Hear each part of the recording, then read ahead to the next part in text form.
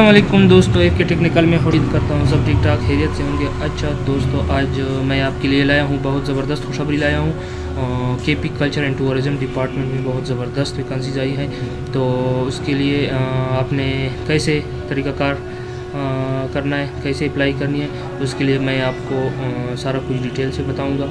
अगर आपने हमारा चैनल अभी तक सब्सक्राइब नहीं किया हुआ है तो प्लीज़ सब्सक्राइब करें बेल आइकन को दबाएँ लाइक और कमेंट करें। लेट्स को चलते हैं। सबसे पहले आपने यहाँ पे C T S P enter करना है।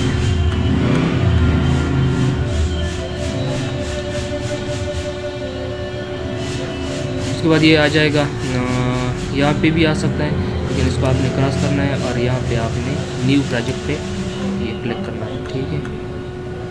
उसके बाद आ जाएगा ये सी टी एस पी में बहुत बहुत कुछ ये वैकेंसी है लेकिन आ, मैं आपके लिए लाया हूँ ये K P culture and tourism department यहाँ पे। ये जो आ, सामने आपको ये नज़र आ रहा है यहाँ पे आपने क्लिक करना है। सॉरी यहाँ पे नहीं K P culture and tourism department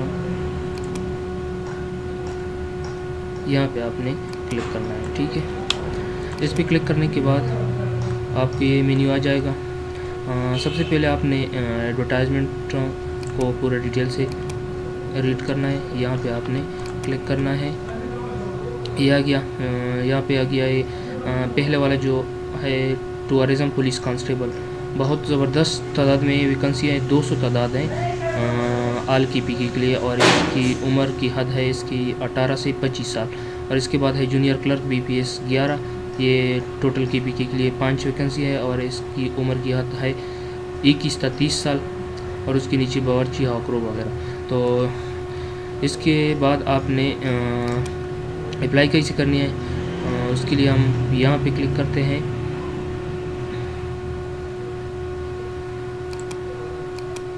यहाँ पे आपने क्लिक किया है। बहुत सिंपल तरीका कार है। आप अपने मोबाइल से भी कर सकते हैं। अप्लाई हाँ ये देखो, आ गया। यहाँ पे आपने सबसे पहले K P culture and tourism department का टूरिज़्म अथॉरिटी ये पे क्लिक करना है। और उसके बाद आपने यहाँ पे पोस्ट सेलेक्ट करना है। फॉर एग्जांपल मैं ये ये पुलिस टूरिज़म पुलिस कांस्टेबल के लिए अप्लाई कर रहा हूँ। और इसके बाद नीचे है हैबर पख्तूनख्वा और इसके बाद है डिवीज़न आपने सेलेक्ट करना है, हम कोहाट डिवीज़न से ताल्लुक़ रखते हैं तो मैंने कोहाट को सेलेक्ट किया। और उसके बाद मैं अपना डिस्ट्रिक्ट सेलेक्ट करूँगा करक और उसके बाद मैं अपना नाम सेलेक्ट करूँगा। और उसके बाद सी एन आई सी है। उसके बाद अपने अपना सी एन आई सी एंटर करना है।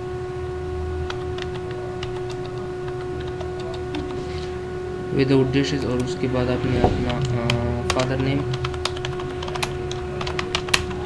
और उसके बाद आपने फ़ोन नंबर मोबाइल नंबर आपने यहाँ पे एंटर करना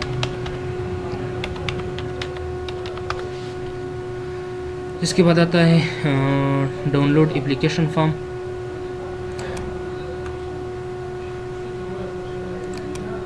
यहाँ पे आपने आ, सारा कुछ डेटा एंटर करने के बाद आपने यहाँ पे एप्लीकेशन फॉर्म पे क्लिक करना है। उसके बाद आ जाएगा ये आपका एप्लीकेशन फॉर्म आ जाएगा और उसके बाद आपने आ, किसी प्रिंट वाले के पास जाके अपना ये फॉर्म प्रिंट करना है और उसके बाद बैंक जाके अपना जो डिपॉज़िट स्लिप है उसको आपने पे करना है। डिपॉज़िट स्लिप इसका अमाउंट है दो सौ पचहत्तर रुपये आपने किसी एच बी एल या एलाइड बैंक में आपने डिपॉज़िट करना है। तो उसके बाद आपने इसको फिर एनवेलप में बंद करके डॉक्यूमेंट सारे अटैच करके और इस फॉर्म में जो उन्होंने एड्रेस दिया है, या या अपने एनवेलप पे आपने यहाँ, ये ये एड्रेस आपने लिखना है, ठीक है? उसके बाद आपका ये हो जाएगा अप्लाई उम्मीद करता हूँ वीडियो आपको अच्छी लगी हो। मिस नहीं करना है, सारा कुछ डिटेल से देखना है तो पूरा समझ आपको आ जाएगा। ओके अल्लाह हाफिज़।